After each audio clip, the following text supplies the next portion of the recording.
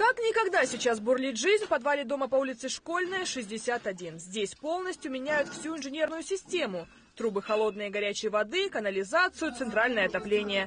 Более 40 лет верой и правдой служили прежние коммуникации, но их состояние пришло в негодность. Поэтому этот дом и включили в программу капитального ремонта. У нас э, в городе Видно, так же как и в Ленинском районе, жилой фонд достаточно старый, поэтому очень много э, систем нуждаются в капитальном ремонте. Программа началась действовать с 2014 года, поэтому сейчас мы в основном делаем акцент именно на аварийные системы, которые необходимо в кратчайшие сроки заменить. В этом году в программу капитального ремонта вошло более 70 многоквартирных домов. В 20 из них будет производиться замена инженерных систем. Средства на это выделяет фонд капитального ремонта Московской области, куда мы, граждане, и отчисляем платежи.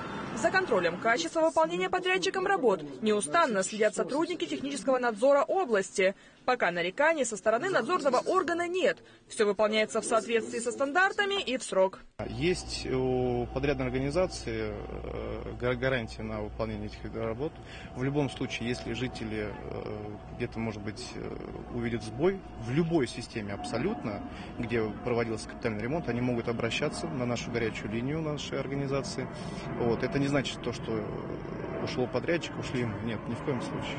За два месяца компания-подрядчик успела завершить работы на 50%. В доме по улице Лемешка 8, корпус 2 заменили канализацию, на Советской 2Б поменяли систему отопления. О качестве выполнения работ говорят даже сварочные швы. Здесь работает, работают профессионалы, сварщики, профессионалы, которые хорошо знают свою работу. Это, это можно снять прям крупным планом, чтобы даже если кто-то посмотрит какого-то специалиста, не поймут, что здесь работают действительно профессионалы. Это все делается очень качественно. А какие они некачественные, как они, они выглядят? Они, знаете, как они... Во-первых, здесь идет, вот видите, аккуратный ровный кант.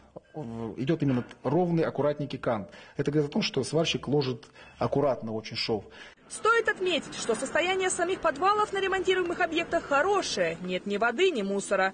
А после замены коммуникации они станут еще краше, а что самое главное, надежнее. Юлия Погосян, Михаил Решетов, Ольга Садовская. Видно этого.